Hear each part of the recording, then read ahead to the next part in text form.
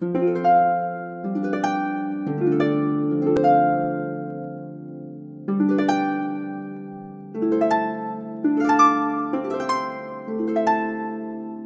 αρκετά χρόνια ε, ήθελα να χρησιμοποιώ φωτογραφίες με ένα μυθιστόρημα. Γιατί όταν κάνω έρευνα στην Ελλάδα για το νησί, για το νήμα κτλ. Έβγαλα πάρα πολλές φωτογραφίες και συνέχεια ήθελα να, να δείξω φωτογραφίες στους αναγνώστες μου. Αλλά στην Αγγλία, ίσως στον κόσμο, δεν, δεν έχει φωτογραφίες, με, έχει με το non-fiction, αλλά με μυθιστορήματα δεν υπάρχει. Μίλησα με ένα φωτογράφος και είχαμε την ιδέα να ε, δημιουργούμε κάτι που οι λέξεις και οι φωτογραφίες δούλευαν μαζί. Οι φωτογραφίες δεν ήθελα να κάνω φωτογραφίες μετά την ιστορία, ήθελα να τους κάνω στην ίδια στιγμή.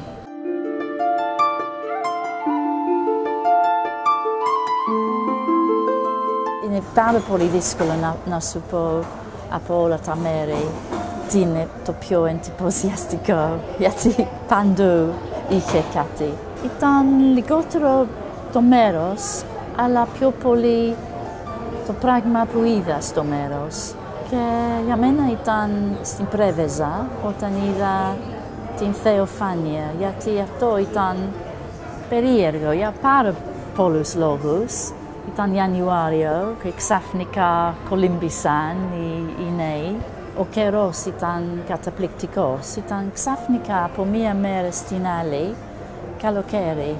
Αυτό ήταν μαγευτικό για μένα. Αλλά παντού είδα, πήγα στη μετέωρα για την πρώτη φορά.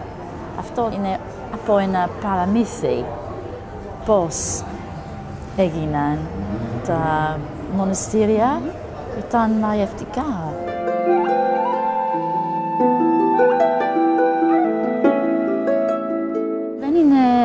Αυτοβιογραφικό βιβλίο καθόλου. Αλλά η εντύπωση που έχει ο Αντώνη είναι πάρα πολλά, είναι δικό μου. Ήθελα να γράψω κάτι για την uh, σύγχρονη, uh, για την σύγχρονη Ελλάδα, πώς είναι τώρα, γιατί στο παρελθόν έχω γράψει πιο ιστορικά, με τα ιστορικά γεγονότα. Ήθελα να, ίσως να το περιγράψω για, στην αρχή, για τους Άγγλους, γιατί είναι έξι εβδομάδες πριν κυκλοφόρησε το βιβλίο εκεί και για αυτούς είναι... Δεν, δεν έχει εκπαίδευση ακριβώς, αλλά μαθαίνουν πράγματα για την Ελλάδα και μαθαίνουν ότι η Ελλάδα δεν είναι μόνο η Ακρόπολη και τα νησιά. Και αυτό είναι τα, τα μέρη που γνωρίζουν οι Άγγλοι όταν έρχονται είναι για κουλτούρα στην Αθήνα και μετά στα νησιά. Μου αρέσει πάρα πολύ η Αθήνα, αλλά είναι πιο εύκολο να, να δούμε τα προβλήματα. Οι άνθρωποι εδώ στην Αθήνα φαίνονται πιο πολύ αγχωσμένοι. Η ατμόσφαιρα είναι λίγο πιο σκληρή. Αλλά αμέσως που φεύγω από την Αθήνα, στην Καλαμάτα, στην Πάτρα, στην Μεσολόγγι. Είναι πιο ελαφρύ. Αν είχα την επιλογή να είμαι εδώ ή στην Αγγλία, ίσως θα προτιμώ να, να είμαι εδώ. Και τώρα, αν πρέπει να αγοράσω ένα βίζα για την Ελλάδα, ίσως δεν μπορούμε να ταξιδέψουμε παντού ελευθερά στην Ευρώπη. Δεν ξέρουμε τι θα γίνει. Τρεπόμουν, τρεπόμουν για την χώρα μου αυτές τις μέρες. Ήταν κάτι πάρα πολύ βαρύ για μένα. Ήρθα στην Ελλάδα την επόμενη μέρα, γιατί δεν, δεν ήθελα να είμαι στην Αγγλία, γιατί οι άνθρωποι εκεί είχαν αποφασίσει πράγματα με τα οποία δεν συμφωνώ, με, ένα, ε, με σκέψεις για τους ξένους.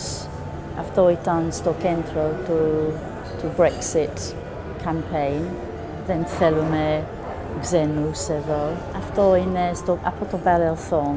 Δεν μπορούμε να ζούμε έτσι τώρα. Έχουμε ένα μικρό καός με το Brexit σχέδια.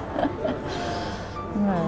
Έχουμε τώρα πιο πολύ ελπίδα να μείνουμε, αλλά η Τheresa May λέει ότι πρέπει, πρέπει να είναι. Αν έχω ένα μότο, είναι μην λες ποτέ